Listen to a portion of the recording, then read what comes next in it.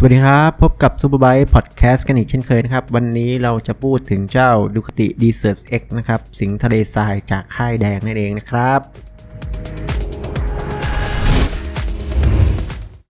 ผมเชื่อว่าหลายๆ คนน่าจะรู้จักมักคุ้นกับรถ Adventure Bike ของค่ายแดงดูคติในชื่อมันติสตาราดานะครับ ซึ่งจริง ๆ แล้วจะออกไปทางแนว Adventure Touring ซะมากกว่า หรือค่อนไปทาง Sport Touring ซะด้วยซ้ำในบางรุ่นย่อยนะครับ ไม่ได้เป็นรถที่เน้นออฟโรดแบบหนักๆ เน้นๆนะครับ แต่ครั้งนี้ Ducati เปิดตัวโมเดลใหม่อย่าง Desert X ซึ่งเป็นรถที่เรียกได้ว่ามุ่งเน้นการขับขี่ออฟโรดแบบจริงจังนะครับ แต่ก็ไม่ใช่ว่าจะขี่ทางดำไม่ได้เลยซะทีเดียวนะครับ สำหรับโปรเจกต์นี้นะครับทาง Ducati ได้พยายามลงมือทำกันมาตั้งแต่ปี 2019 นะครับ โดยได้นำเสนอแก่สายตามหาชนในฐานะ concept bike เสียก่อนนะครับ และได้รับการตอบสนองที่ดีจากทั่วทุกมุมโลกนะครับ แน่นอนว่าทางค่ายก็ได้เล็งเห็นถึงความเป็นไปได้ และลงมือผลักดัน จนเป็นรถจริง ๆ ที่ใช้งานได้จริง ๆ ออกมานะครับ ในส่วนของดีไซน์นะครับ ได้แรงบันดาลใจมาจากมอเตอร์ไซค์ในสไตล์ Enduro ในยุค 80 นะครับ และนำมานำเสนอใหม่ในแบบร่วมสมัยผ่านฝีมือการออกแบบของทาง Ducati Centro Style นะครับ โดยตัวรถจะประกอบด้วย 3 ส่วนหลักๆ ช่วยให้รถโดดเด่นนะครับ ได้แก่ถังน้ำมันและแผงด้านข้าง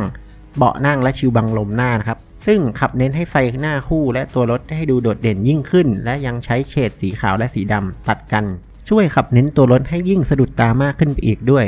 ไม่เพียงแต่ดีไซน์นะครับที่ดูดี ทางแบรนด์ยังใส่ใจเรื่องการระยะศาสตร์นะครับหรือว่า ergonomic นะครับด้วยมีการทดสอบขับขี่ใช้งานจริงทั้งบนทางฝุ่นและทางดำเป็นระยะเวลายาวนาน มิติสามเหลี่ยมแห่งการขับขี่ที่เกิดขึ้นจากตำแหน่งอ้างอิงของเบาะนั่งนะครับพักเท้าและ handlebar ออกแบบมาให้เหมาะกับการขับขี่ในท่ายืนมากที่สุดขณะเดียวกันก็ไม่มองข้ามความสบายขณะขับขี่บนถนนนะครับ เท่านั้นยังไม่พอนะครับ ทางค่ายยังได้ออกแบบให้ตัวรถมีความเพรียว ให้เบาะนั่งไม่สูงมากนัก เพื่อให้ขับขี่และควบคุมรถได้ดีและมั่นใจ เพราะเมื่อรถไม่สูงมากนะครับ ขาก็สามารถถึงพื้นได้ไม่ยากนะ นอกจากนี้หากเป็นคนร่างเล็กก็สามารถเลือกเบาะต่ำพิเศษเป็นออปชั่นเสริมได้อีกด้วย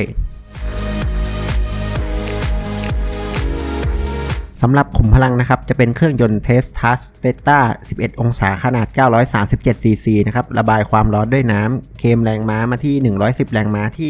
9,250 รอบ และแรงบิด 92 นิวตันเมตรที่ 6,500 รอบนะครับซึ่งหลาย ๆ คนน่าจะทราบกันแล้วว่ามันคือเครื่องเดียวกันกับที่ใช้ใน New Monster และ Multistrada V2 นะครับ หลายคนที่ได้ขับขี่แล้วก็น่าจะรู้ข้อดีของมันนะครับ ว่ามีข้อดีตรงที่มีน้ำหนักที่เบานะครับ และการเข้าเกียร์ที่แม่นยำและนุ่มนวลนะครับ แต่แน่นอนว่าสำหรับคันนี้นะครับเป็นการขับขี่ออฟโรดครับมีการปรับแต่งให้มีอัตราทดที่แตกต่างออกไปนะครับโดยให้เกียร์1และเกียร์2มีช่วงเกียร์ที่ชิดมาก พื่อให้รถมีกำลังข้ามผ่านอุปสรรคไปได้ และสั้นกว่าปกติไปจนถึงเกียร์ 5 เลย แต่ก็สามารถขับขี่ทางไกลได้โดยลากเกียร์ 6 กันยาวๆนะครับ ในส่วนของช่วงล่างนะครับถือว่าเน้นลุยแบบจริงๆนะครับ โดยในส่วนของระบบการสะเทือนก็จะเป็นโชคจากคายาบ้านะครับ ซึ่งด้านหน้าจะเป็นโชคหัวกลับขนาด 46มิลลิเมตรส่วนด้านหลังก็จะเป็นโชคเดียว ซึ่งทั้งคู่สามารถที่จะปรับ compression rebound และ preload ได้นะครับในส่วนของล้อนะครับก็จะเป็นล้อซี่ลวดนะครับด้านหน้ามีขนาด 21 นิ้ว และด้านหลัง 18 นิ้วตามลำดับนะครับ โดยจะมาพร้อมยาง Pirelli Scorpion Rally STR นะครับ ที่ให้คุณไปได้ทั้งทางฝุ่นและทางดำนะครับ ในส่วนของระบบเบรกครับ ด้านหน้าจะเป็นดิสเบรกคู่พร้อมคาลิเปอร์เบรกเบมโบ M50 นะครับ monobloc แบบ 4 ลูกสูบนะครับ ด้านหลังจะเป็นดิสเบรกเดี่ยวร่วมกับคาลิเปอร์เบรก Brembo แบบ 2 ลูกสูบนะครับ เรามาเข้าถึงเรื่องของระบบอิเล็กทรอนิกส์กันบ้างนะครับ ซึ่งทุกคนต่างรู้ว่าต้องมาแบบแน่นๆนะครับ แน่นอนสำหรับค่ายนี้นะครับตัวรถจะมีหน่วยประมวลผลแรงเฉื่อยหรือ IMU แล้วนะครับซึ่งก็จะช่วยเสริมกับระบบอิเล็กทรอนิกส์อื่นๆ อย่างที่หลาย ๆ คนน่าจะทราบแล้ว เช่น ระบบเบรก ABS แบบใช้งานในโค้ง โหมดการขับขี่นะครับ ซึ่งในโมเดลนี้นะครับมีมากถึง 6 โหมด ซึ่งในนั้นมีโหมดใหม่อย่าง Rally ด้วยนะครับ และตัวรถนะครับยังมีโหมดควบคุมกำลังเครื่องยนต์ถึง 4 โหมดครับ Traction Control 8 ระดับนะครับ ระบบป้องกันการลอยตัวของล้อ 4 ระดับนะครับ ระบบควบคุม Engine Brake อีก 3 ระดับและแน่นอนนะครับสำหรับยุคนี้มาตรฐานใหม่ก็จะหนีไม่พ้นกับการที่ต้องมีหน้าจอแสดงผลแบบสี TFT โดยหน้าจอของคันนี้นะครับมีขนาดอยู่ที่ 5 นิ้ว โดยออกแบบมาเป็นรูปแบบแนวตั้งครับ ตั้งใจให้มองได้สะดวกเวลายืนขับขี่ครับ ตัวหน้าจอสามารถเชื่อมต่อกับสมาร์ทโฟนได้เพื่อรับสายโทรออกหรือฟังเพลง รวมไปถึงใช้งานระบบนำทางแบบโค้งต่อโค้งได้ ซึ่งอย่างหลังเป็นออปชั่นเสริมเพิ่มเติม ระบบไฟส่องสว่างรวมไปถึงไฟ daytime running light นะครับ ทั้งหมดเป็น LED เต็มระบบแล้ว และระบบไฟท้ายก็จะมีระบบ Ducati brake light ซึ่งจะกระพริบทีๆเวลาเบรกกระทันหัน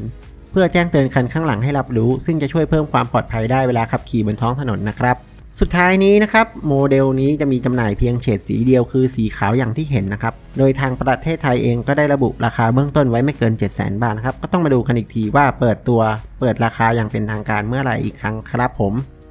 สุดท้ายและท้ายสุดจริง ๆ นะครับ ก็อย่าลืมเป็นกำลังใจให้กับพวกเราทีมงาน Superbike Thailand ได้นะครับ ด้วยการกดไลค์กดแชร์กด Subscribe ช่องของเรานะครับ หรือเข้าไปติดตามพวกเราผ่านทางช่องทางต่างๆ ได้นะครับ ไม่ว่าจะเป็น Facebook Fanpage นะครับ เว็บไซต์นะครับ TikTok หรือว่า Twitter ก็ดีนะครับ ขอบคุณมากครับ สวัสดีครับ